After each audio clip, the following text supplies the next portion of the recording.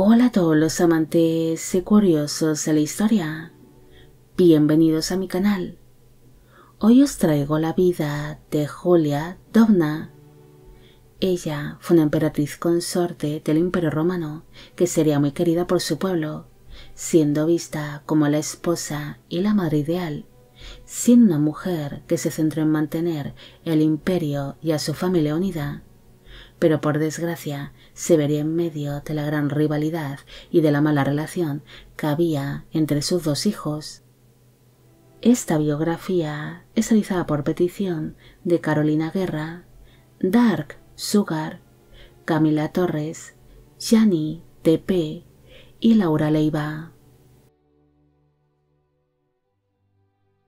Julia Donna nació alrededor del año 160 en la ciudad de Emesa, actualmente conocida como Homs, en Siria. Fue hija del sumo sacerdote Julio Pasiano, pero se desconoce el nombre de su madre. La niña llegaría a tener al menos una hermana mayor llamada Julia Mesa, quien llegaría a ser una destacada dama romana y abuela de los futuros emperadores Helio Gábalo y Alejandro Severo. Julia Domna descendía de una poderosa y rica familia. Su padre era descendiente de la familia real de Mesa y era sumo sacerdote del Templo del Sol, siendo el encargado de custodiar la piedra sagrada que representaba la figura de la deidad solar, el Cabal, latinizado como Heliogábalo. Hay distintas versiones sobre el verdadero significado de su nombre. Algunos dicen que Dovna significa negro y que se le fue puesto en veneración a dicho dios solar, ya que según su mitología, dicha deidad tomó forma de una perla negra. Otra versión dice que su nombre en realidad es una variación del antiguo nombre árabe, Tumaina. En cambio, otra versión dice que su nombre significa amante pero esta última versión es la menos aceptada. Se desconocen muchos puntos de su vida temprana, tan solo se sabe que era descendiente de una rica familia de reyes sacerdotes que tenían cierto peso dentro del Senado romano. Hacia el año 186, la vida de Julia Domna cambió. Por aquel entonces, el político Lucio Septimio Severo se encontraba en Siria, ejerciendo como legado de una legión que se encontraba en tales tierras, conociendo así a la familia real de Emesa. Durante aquella estancia, el horóscopo predijo que Julia Donna estaba destinada a casarse con un rey, algo que llamó enormemente la atención de dicho político, quien ambicionaba el poder convertirse en emperador romano en algún momento de su vida. Además, se sabe que Septimio Severo siempre fue un hombre que creía ciegamente en las predicciones astrológicas y en el mundo de la adivinación, además de que recientemente había enviudado de su primera esposa, la dama romana Pacia Marciana. Por esta razón, acabaría pidiendo la mano en matrimonio de Julia Domna. La familia real de Mesa acabaría aceptando aquella propuesta matrimonial, pese a que para entonces Septimio Severo no tiene ningún cargo importante, ya que tal vez confiaban de que éste tuviese un brillante recorrido dentro de la política y de la milicia romana, o tal vez porque querían casar a Julia Donna pronto, ante el miedo de que se quedase soltera, ya que para entonces ella ya tenía unos 25 años de edad. En aquel mismo año en el que se comprometieron, su prometido fue destinado a la provincia romana de Galia Céltica, donde fue nombrado como gobernador de la colonia romana llamada Lugdunum, la cual es actualmente la ciudad de Lyon, en Francia, siendo una de las ciudades romanas más importantes de la Europa noroccidental de aquella época. Por esta razón, Julia Donna se habría obligada a abandonar su tierra natal para seguir a su futuro esposo hacia su nuevo destino.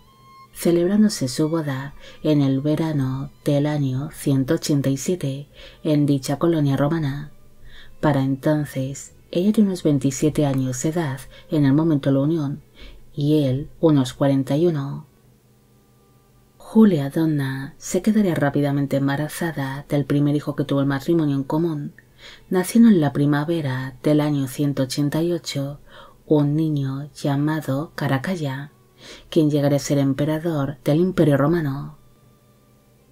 Tras nacer su primer hijo, su marido finalizó con su cargo como gobernador de la Galia Céltica, regresándose el matrimonio a la ciudad de Roma, donde en el mes de marzo del año 189 nació el segundo y último hijo de la pareja, un niño que se llamó Geta, quien también llegaría a ser emperador de dicho imperio. En el año 191, su marido fue nombrado como gobernador de la provincia romana de Panonia Superior, y pese a que hay constancia de que sus hijos permanecieron en Roma, se desconoce si Julia Donna permaneció en dicha ciudad junto a sus vástagos o si acompañó a su esposo durante aquel nuevo destino. Hacia finales del año 192, el emperador Cómodo fue asesinado a causa de una conspiración, y como éste no había dejado heredero alguno, el cargo de emperador fue ocupado por Pertinax, quien se dice que estaba detrás del asesinato de Cómodo. Pertinax ejerció como emperador por tan solo tres meses, siendo también asesinado como su antecesor. Tras la muerte de Pertinax, Didio Juliano adquirió el cargo de emperador, algo que no gustó demasiado al Senado romano, debido a que el nuevo emperador tenía muy poca autoridad. Por esta razón empezó a idear su caída. Mientras todo esto iba pasando, su marido, Septimio Severo, se encontraba aún en la provincia de Panonia Superior, cuando fue informado de las muertes de los emperadores Cómodo y Pertinax así que rápidamente fue proclamado como el nuevo emperador por sus tropas y partiría de inmediato hacia Roma, alegando que merecía ser el gobernante del imperio romano por ser el hijo adoptivo del emperador Marco Aurelio, algo que es bastante cuestionado por los historiadores. Pese a que el emperador Didio Juliano estaba dispuesto a compartir el gobierno con Septimio Severo, el senador romano decidió deponer y ejecutar a Didio Juliano, mostrando así su favor hacia Septimio Severo, el cual acabaría llegando a la ciudad de Roma el 9 de junio del año 193, algo que permitió a Julia Donna el recibir poco después el título de Augusta de la mano de su marido, siendo así reconocida como emperatriz consorte del Imperio Romano. La nueva emperatriz acompañó a su marido durante los viajes y las campañas militares, debido a que Septimio Severo había iniciado una guerra civil contra su gran rival, el gobernador de Siria, Pecenio Niger, quien se negaría a reconocerle como emperador, además de ambicionar tal cargo. La familia imperial también acompañó al emperador durante las campañas que éste libró contra el imperio parto, después durante las campañas que libró en Egipto y finalmente durante las campañas que se llevaron a cabo en la isla de Gran Bretaña. Durante aquellos años en el que el emperador viajaba de campaña en campaña junto a su esposa e hijos, la familia imperial daría la imagen de un núcleo familiar unido que mantenía una relación sólida y armoniosa, algo que gustó bastante al pueblo romano. Incluso Julia Domna ser una emperatriz bastante popular, al ser vista como una esposa dispuesta a seguir a su marido allá donde éste fuese y a mantener a su familia unida. Pese a dar la imagen de ser un matrimonio y una familia feliz, aquella armonía acabaría llegando a su fin cuando Septimio Severo se empezó a dejar influenciar por su primo Cayo Fulvio Plauciano quien llegó a ejercer una gran influencia sobre el emperador, Incluso este logró casar a su hija, Fulvia Paultila, con el hijo mayor de los emperadores, Caracalla, un casamiento que no era deseado ni por la emperatriz ni por su hijo. Julia Domna llegó a mantener una relación muy tensa con el primo de su marido, viendo a Fulvio Plauciano como un gran enemigo. Dicho hombre se tomaba la libertad de tratar mal a la propia emperatriz frente a su corte y su marido. Incluso llegó a poner al emperador en contra de su propia esposa en distintas ocasiones, algo que ocasionó que Julia Donna se viese obligada a llevar una vida más retirada y que apenas se la empezase a ver en público. Aquella gran enemistad finalizó cuando Fulvio Plauciano fue acusado de conspirar contra la familia imperial, siendo así ejecutado en el año 205. En el año 211, su marido Septimio Severo falleció en la ciudad romana de Boracum, la cual es actualmente la ciudad de York, en Inglaterra. Al morir su marido, Julia Donna enseguida ejerció como mediadora entre sus dos hijos, Caracalla y Geta, los cuales se convirtieron en coemperadores del Imperio Romano por deseo de su fallecido padre. Pero ambos hermanos nunca habían mantenido una buena relación y se odiaban. Tras fallecer su marido, la emperatriz viuda y sus hijos abandonaron las campañas de la isla de Gran Bretaña y regresaron a Roma, donde Julia Donna logró tener cierto poder y su propia corte, pero pronto se vería en medio de la gran rivalidad que había entre sus hijos. Ambos hermanos desconfiaban completamente el uno del otro. Incluso se sabe que evitaban comer juntos o estar en la misma sala. Además, de que temían constantemente el ser asesinados o envenenados por el otro hermano. Ante la gran enemistad que había entre sus hijos, ambos se plantearon la idea de dividir el imperio en dos para evitar cogobernar juntos. Pero Julia Donna se negó en rotundo y les exigía que siguiesen gobernando juntos, tal vez para no perder la influencia y el poder que ejercía sobre sus dos vástagos. Finalmente, Caracalla se mostraría realmente cansado de compartir el poder con su odiado hermano, así que decidió asesinarlo. Pero aquel primer intento de asesinato sería un gran fracaso y Geta reformó la seguridad tanto de sus habitaciones privadas como la del número de guardias que le acompañaban a diario. Ante esta situación, Caracalla ideó un plan que consistía en hacer creer a su madre de que estaba dispuesto a reconciliarse con su hermano, pero tan solo lo haría en privacidad y sin guardias, es decir, que tan solo estuviesen presentes los hermanos enfrentados y la madre de ambos. Aquella invitación a la reconciliación sería aceptada por Geta, quien consideraba que no había peligro alguno al acudir a tal reunión familiar sin su guardia personal, ya que pensaba que su hermano Caracalla no sería capaz de hacerle algo ante la presencia de la madre de ambos, pero realmente se equivocó. Cuando Geta entró en aquella habitación, aparecieron los guardias de Caracalla, los cuales se abalanzaron sobre Geta y le atacaron, muriendo así entre los brazos de su madre. Según se cuenta, Julia Donna se encontraba completamente desprevenida cuando aparecieron en escena aquellos guardias, ya que no esperaba para nada que su propio hijo fuese capaz de asesinar a su hermano ante los ojos de la madre de ambos.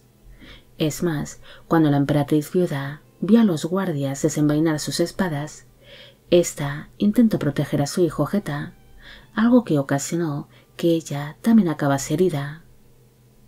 Julia Donna se mostraría rota de dolor al ver morir a su hijo menor entre sus propios brazos, pero por orden de Caracalla no pudo mostrar su dolor ni su gran tristeza en público. Tras el asesinato de su hijo Geta, la relación entre Julia Donna y su otro hijo, Caracalla, se volvería muy fría y tensa, pero aún así la emperatriz viuda mantuvo su posición dentro de la corte romana.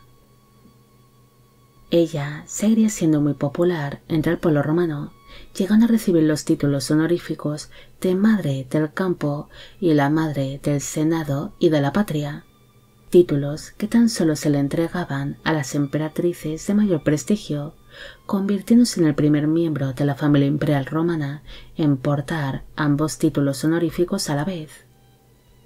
La mala relación que surgió entre Julia Domna y su hijo Caracalla no fue solo por el asesinato de Geta, sino también por la guerra romano-parta, debido a que ambos tenían distintos puntos de vista sobre este conflicto. Pero aún así, ella ayudaría a su vástago a gobernar el extenso imperio romano. Se sabe que Caracalla prestaría más atención a los asuntos bélicos y que tan solo mostraría interés por los asuntos que realmente fueran de su gusto, ocupándose Julia Donna de las demás tareas de la gobernación, ocupándose especialmente de escribir cartas, leer y firmar documentos, celebrar audiencias privadas y ejercer como diplomática. Pese a que la emperatriz viuda ayudaba a su hijo y le daba sabios consejos que Caracalla no solía escuchar, se sabe que Julia Donna llegó a regañar a su hijo en más de una ocasión ante el gran derroche de dinero que estaba suponiendo su gran generosidad con los soldados y sus campañas militares. Pero Caracalla ignoraría cada una de las palabras de su madre. Julia Donna no solo se dedicó a la vida familiar y a la gobernación del Imperio Romano, se sabe que ella era una mujer muy culta que amaba el conocimiento. Desde que se casó con su fallecido marido, Septimius Severo, la emperatriz siempre estuvo rodeada de escritores y de filósofos.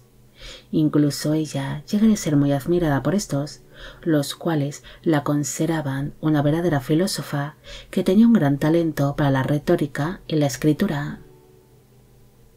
En el año 214, Julia Donna acompañó a su hijo durante las campañas militares que éste libró contra los partos, pero dos años después, madre e hijo tomaron caminos separados durante tales campañas. Caracalla pasa el invierno en Edesa, mientras que la emperatriz viuda permaneció en Antioquía de Lorontes. En el mes de abril del año 217, su hijo Caracalla decidió reanudar los conflictos contra los partos, pero antes quiso visitar un templo que se encontraba cerca del antiguo asentamiento de Carras. Pero durante el trayecto, el emperador hizo una parada para orinar y en ese momento fue apuñalado por un soldado descontento llamado Julio Marcial, siendo así víctima de una conspiración en la que estaba implicado uno de los hombres de confianza de Caracalla, Macrino, quien asumió el control del Imperio Romano como emperador. Julia Donna se encontraba aún en Antioquía de Lorontes cuando se enteró del asesinato del único hijo que le quedaba y de la llegada al poder de Macrino, siendo una noticia demasiado dolorosa para ella, no mantener para entonces una buena relación con su hijo además de que ninguno de sus dos hijos habían dejado descendencia, extinguiéndose así su rama familiar. Se sabe que el nuevo emperador, Macrino, intentó mantener una buena relación con la emperatriz viuda.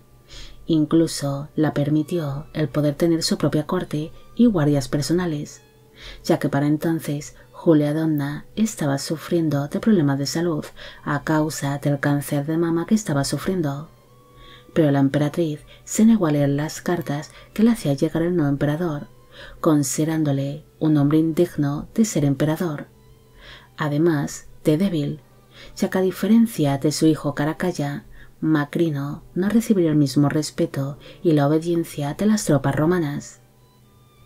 Al ver que Julia Donna no estaba dispuesta a mantener una buena relación con el emperador, Macrino decidió abandonarla en Antioquía de Lorontes donde la emperatriz viuda acabaría muriendo a causa de una desnutrición unas pocas semanas después, falleciendo en la primavera del año 217 cuando tenía unos 57 años de edad.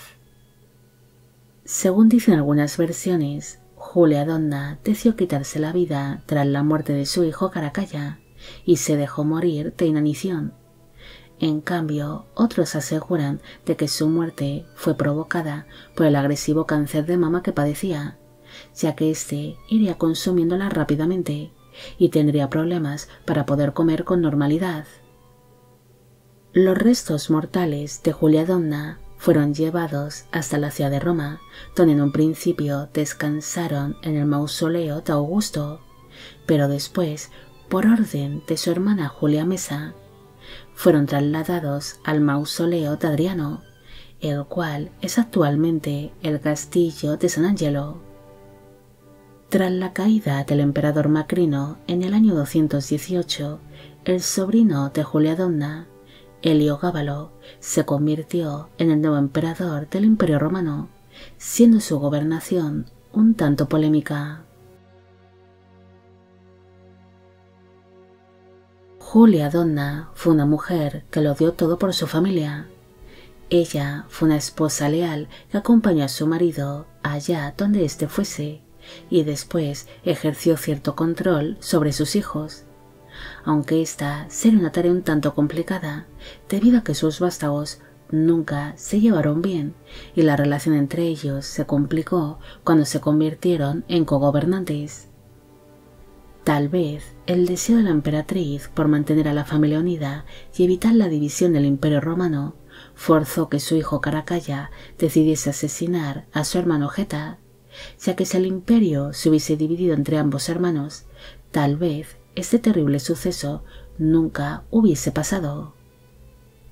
Julia Donna fue una mujer completamente entregada a sus hijos y al imperio romano ella sería vista como la esposa y la madre ideal, siendo una emperatriz muy popular y querida por su pueblo. También fue una mujer que ayudó en todo lo que pudo a sus hijos, especialmente a Caracalla, tras ver morir desgraciadamente a su hijo Geta entre sus propios brazos, ayudando a su hijo mayor en todas las tareas posibles dentro de la gobernación del imperio ejerciendo tal labor incluso después del gran distanciamiento que se produjo entre madre e hijo.